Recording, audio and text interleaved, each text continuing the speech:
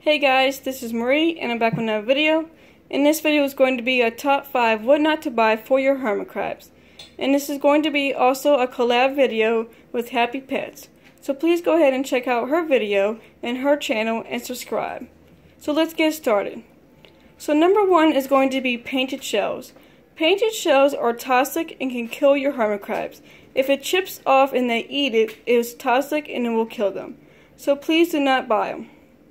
Number two is going to be aquarium rocks. Aquarium rocks are not good for your hermit crabs also because they cannot molt and bury inside. Also, it can harm them if they get inside their shell. So please do not buy them. Number three is calcium sand.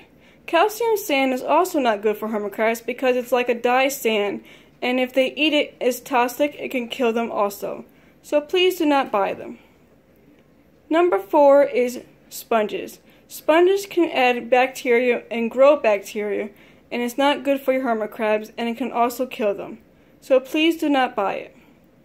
Number five are plastic containers and wire containers, and you can usually buy these at gift shops or pet stores. And these are not good for your hermit crabs because they do not keep in humidity. So please do not buy it. So thank you for watching. I hope you guys enjoyed this video. Don't forget to give it a big thumbs up, comment down below, and definitely don't forget to subscribe to my channel to see more. Until next time, I will see you guys in the next video. Bye!